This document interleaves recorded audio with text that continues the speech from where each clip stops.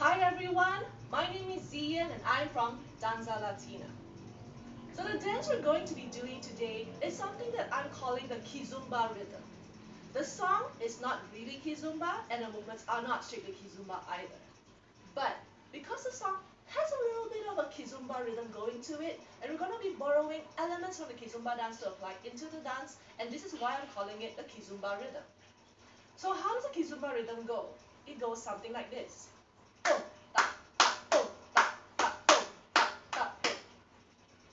So the movements are not really kizomba, but we're going to match the steps to follow that rhythm. We're going to begin this dance by moving along this line.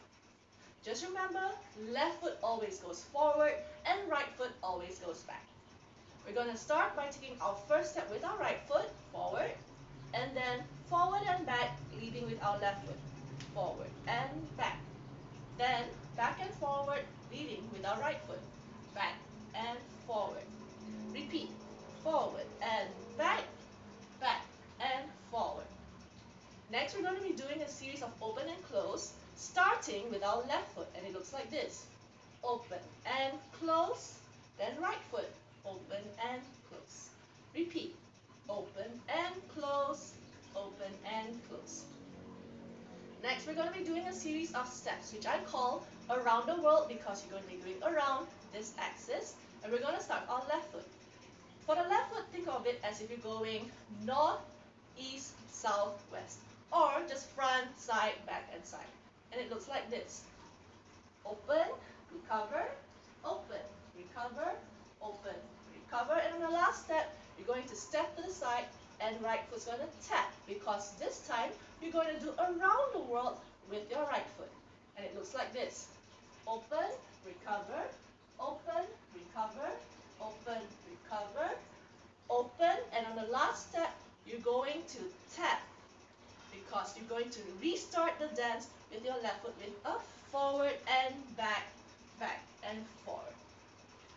So, now that you know the dance, what we're going to do is we're going to repeat these movements over and over again to the song. Before we dance this to music, let's try these steps out first. So, starting with the right, we're going to go one, two, and three, four, and five, six, and seven, eight, and one. Now open and close, two, and three, four, and five. Again, six, and seven, eight, and one. Around the world, two, three, four, five, six, seven, eight, one, two, three, four, five, six, seven, eight, one. Then again, two and three, and we repeat. So here's an option for you amazing dancers out there. When you're doing around the world, you can add extra movements to make it more interesting. For example, you can add a little shimmy when you're doing around the world. You could do something like this. Shimmy, shimmy, shimmy, and repeat. You can also add hip movements, which means that when you do it around the world, you don't actually have to do a full weight transfer to your other foot. It looks something like this. You can do hip, hip, hip, hip. If you have other options that you'd like to explore, please feel free to do so because this is a dance and I want you to have a lot of fun. The dance again. This time I'm going to face this way so that it's easier for you to copy my movements. And we're going to do this without music first.